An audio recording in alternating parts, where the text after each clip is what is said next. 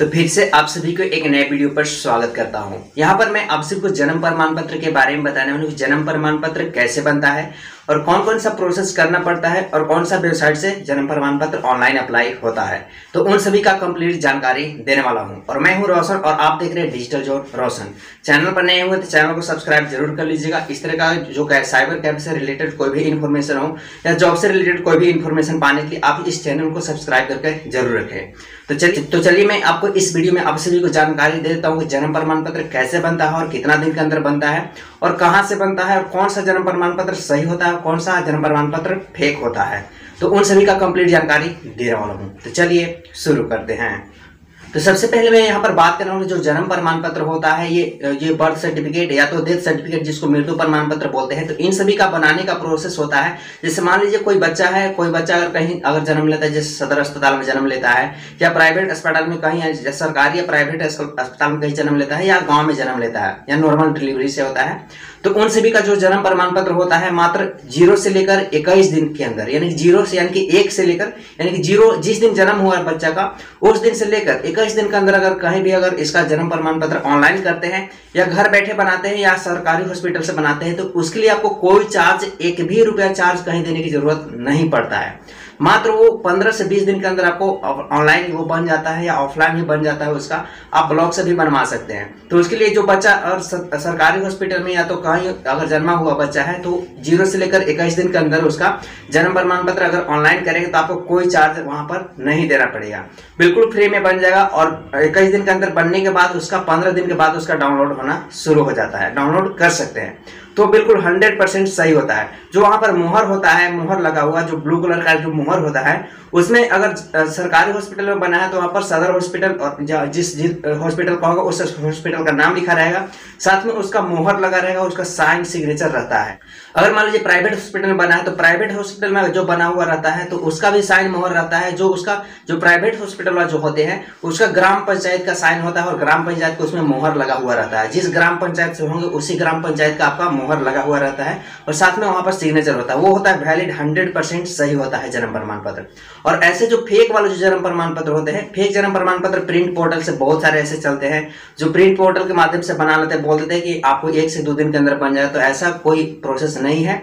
जो आप घर बैठे एक से दो दिन के अंदर जन्म प्रमाण पत्र बना सकते हैं। ऐसा कोई प्रोसेस नहीं है। जो उसमें उस तरह का बनाता है, जैसे मान लीजिए हॉस्पिटल अगर आपको बना कर देता है, वहाँ से तो मान लीजिए कहीं भी हॉस्पिटल अदर अदर हॉस्पिटल का बना कर देता है और वहाँ पर साइन और मोहर नहीं रहता है, केवल केवल उसमें मोहर मारा हुआ रहता है, जो इसमें गोल कलर का अगर मोहर नहीं हो गोल अगर सर्कल टाइप का अगर मोहर नहीं होगा और सिग्नेचर उस पर नहीं किया हुआ होगा तो समझिए कि वो फेक है। वो हंड्रेड सही नहीं रहता है। वो केवल काम चलाने के लिए ऐसे हो जाते हैं इमरजेंसी में कोई अप्लाई कर लेता है। लेकिन वो सही नहीं है। वो मैं आपको बार बार बता दे रहा हूँ। जो जन्म प्रमाण पत्र हो या मृत्यु प्रमाण पत्र हो। अब बात करते हैं मृत्यु प्रमाण पत्र के। मृत्यु प्रमाण पत्र ये होता है जो कोई भी व्यक्ति अगर मर जाता है तो उसका भी वही प्रोसेस होता है जो ज़ीरो से लेकर इक्कीस दिन के अंदर जिस दिन व्यक्ति का डेथ होता है, उससे लेकर इक्कीस दिन के अंदर उसका कोई अगर मृत्यु प्रमाण पत्र अप्लाई करता है तो उसका कोई भी चार्ज नहीं दिया जाता है। उसके लिए भी आंगनबाड़ी में जाकर बनवा सकते हैं, या तो ग्राम पंचायत वाले से बनवा सकते हैं, या तो कहीं हॉस्पिटल से भी बनवा सकते हैं जाकर। और उसका प्रोसीजर होता है जो कम से कम पाँच से छह व्यक्ति का वहाँ पर आधार कार्ड देना होता है। प्रूफ के तौर पर कि हाँ ये व्यक्ति डेथ कर चुके हैं, उनका सर्टिफिकेट बनाना है डेथ सर्टिफिकेट तो उसके लिए वहाँ से बन जाएगा। उसका भी वही प्रोसेस होता है जो गोल उसमें सर्कल टाइप का उसमें साइन मोहर लगा हुआ रहेगा, मोहर रहेगा और उसी का वहाँ पर ग्राम पंचायत अगर घर पे डेथ हुआ होगा तो ग्राम पंचायत अगर हॉस्पिटल में डेथ हुआ तो हॉस्पिटल का नाम लिखा हुआ रहेगा, वहाँ पर सिग्नेचर और मोहर रहेगा।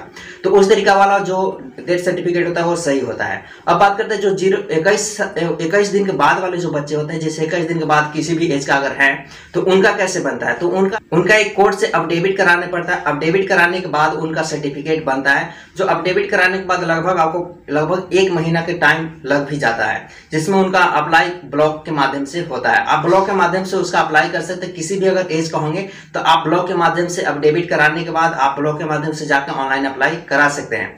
यहाँ पर अदर प्रोसेस ऐसा कुछ नहीं है जो आप घर बैठे उसका प्रोसेस कर सकते हैं। तो उसके, उसमें केवल आप रजिस्ट्रेशन कर सकते हो, उसके अलावा और आपके पास कोई सुविधा अवेलेबल नहीं है।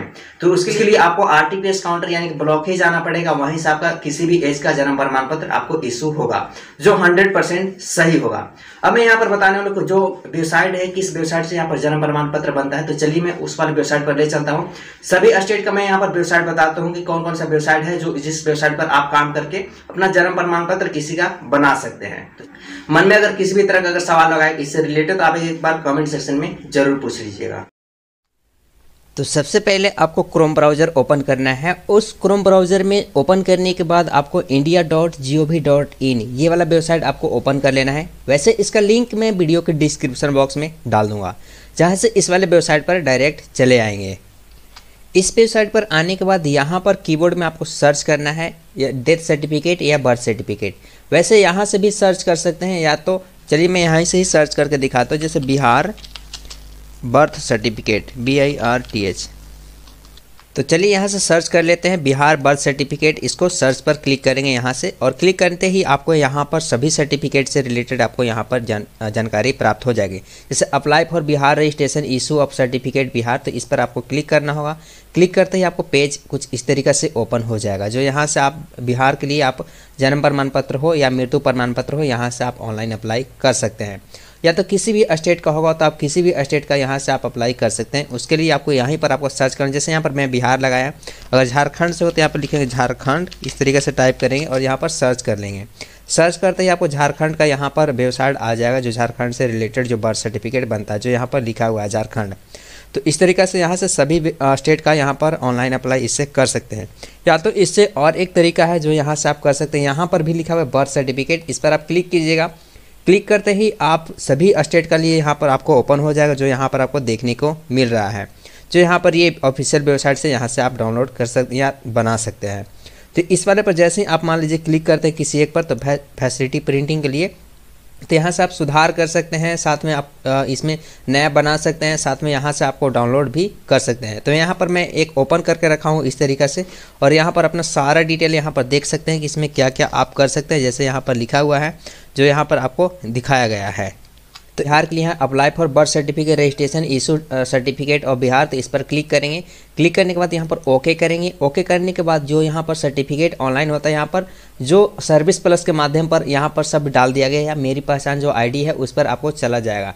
तो वहाँ से आप इसका बर्थ सर्टिफिकेट अप्लाई कर सकते हैं। तो बर्थ सर्टिफिकेट अप्लाई करने का यही एक यहाँ पर प्रोसेस बताया गया है, जो नया अपडेट होने के बाद आया। बर्थ सर्टिफिकेट ऑनलाइन अप्लाई करना चाहते हैं तो आपको ब्लॉक ही जाना पड़ेगा। आपको इक्कीस दिन के अंदर जो बच्चे जन्म लिए होंगे, वो उनका आप घर बैठे बना सकते हैं। अन्यथा आपको ब्लॉक जाना पड़ेगा। मन में किसी भी तरह का अगर और भी सवाल होगा तो कमेंट एक बार ज़रूर कीजिएगा।